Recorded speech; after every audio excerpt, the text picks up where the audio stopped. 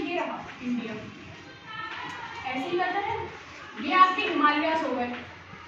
हम जो रह रहे हैं वो हिमाचल रह रहे हैं, ठीक है? उत्तर प्रदेश में।